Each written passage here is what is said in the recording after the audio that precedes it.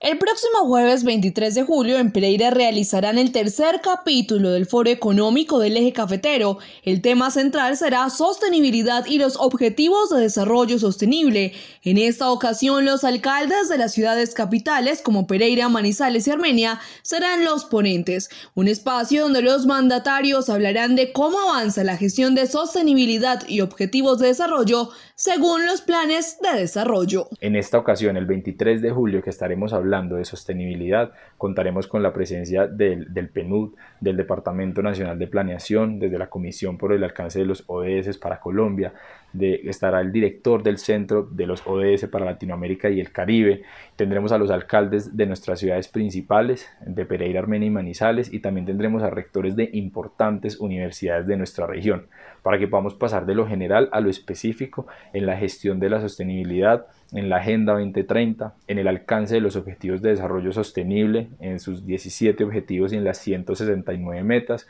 y que podamos ver el rol, el papel y los retos que esta agenda pues tiene tanto para el sector privado como para el sector público, como para el sector académico y sobre todo para el sector que tenemos nosotros como ciudadanía, de aportar para tener un mundo más sostenible en términos económicos, sociales y ambientales de aquí al 2030. Las personas interesadas en asistir en este foro lo pueden hacer ingresando a la página web www.camarapereira.org.co Allí en la página principal aparecerá el enlace para realizar el correspondiente proceso de inscripción. Se tienen que registrar eh, en el link que se ha dispuesto desde la Cámara de Comercio en su página web, nuestro aliado permanente para el Foro Económico del Eje Cafetero, y lo pueden encontrar en las redes sociales de Global Shapers Pereira, tanto en Instagram como en Facebook, y aparecemos así, Global Shapers, eh, para que nos busquen y también cualquier duda o inquietud que tengan, pues la puedan hacer por allí. Es un evento cerrado con inscripción previa para garantizar la calidad y la conectividad